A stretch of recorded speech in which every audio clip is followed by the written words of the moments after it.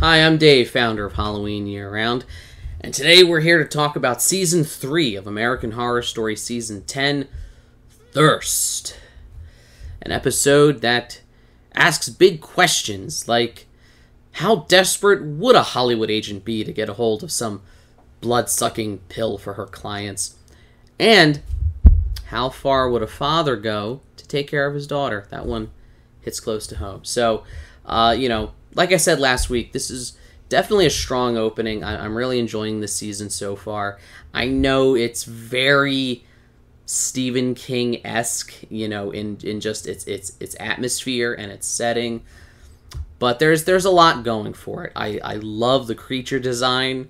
It, it's sort of like Nosferatu meets I Am Legend. Well, what like these are the creatures that this is what they should have looked like in I Am Legend. Is what they look like here. Um, also, they um, kind of remind me of 30 Days of Night for those of you who have seen that.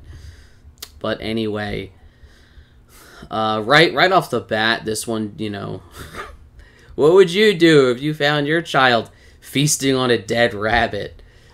So, on the one hand, you know, I, I, I love the conflict in Harry as he's trying to figure out, you know, he, he loves his daughter, he wants to take care of her, and, you know, he wants to ultimately supply her with blood, but it feels like she's like way too nonchalant and way too ready to just like start murdering people and drink like she takes to it very quickly.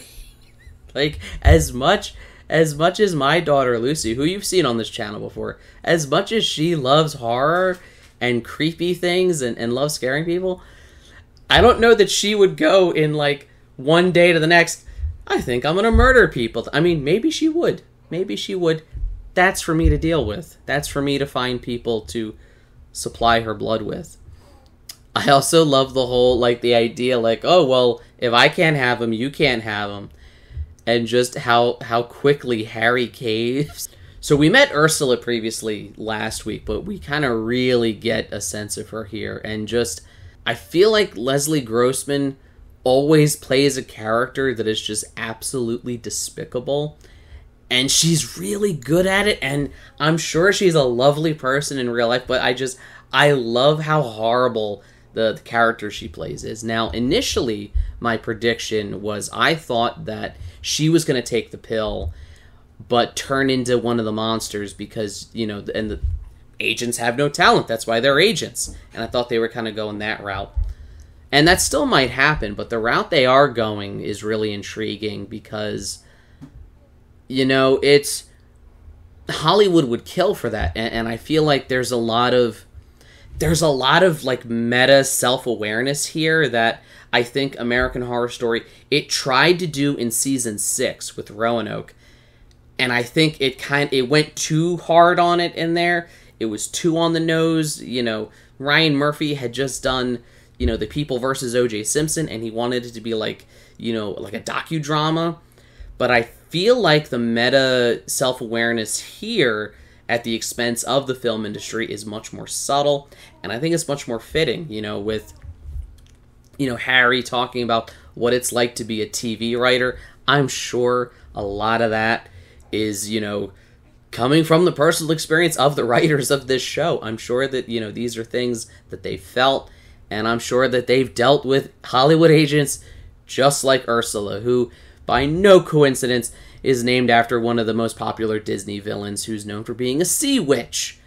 As far as the vampire storyline goes, to be fair, this is something that, you know, American Horror Story has explored before with Hotel. You know, even with a group of vampire kids, you know, as remember the the classroom that they just kill everyone.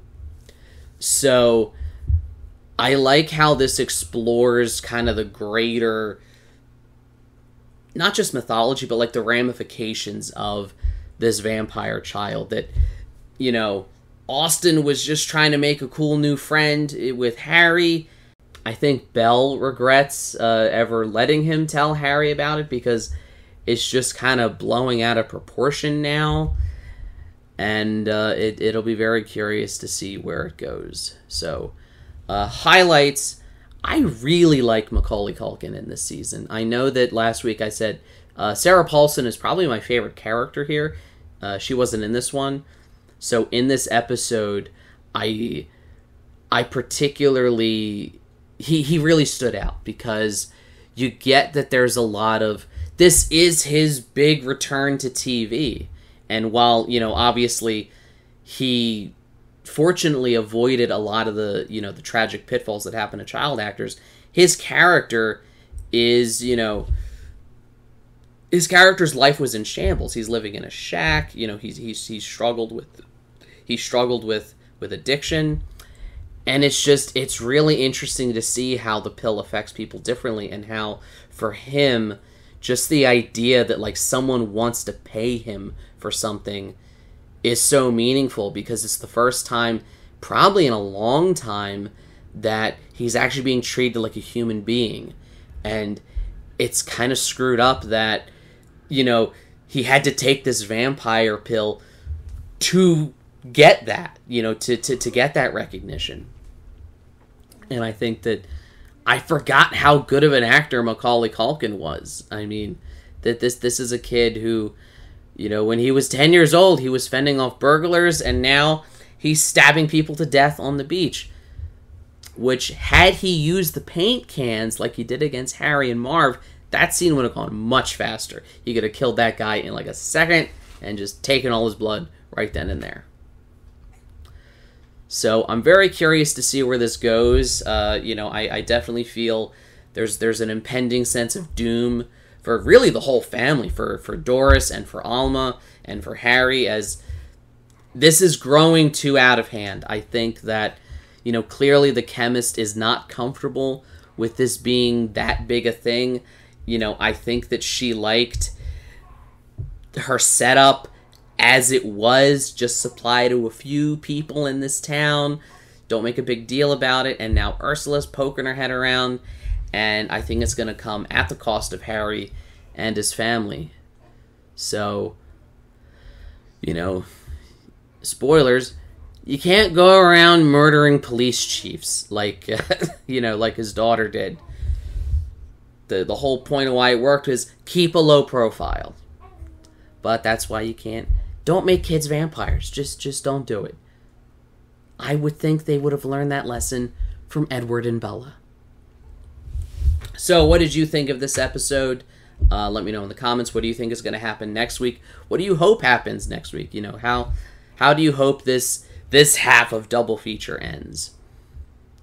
Uh, you can also check out the website HalloweenYearRound.com. Follow it on social media.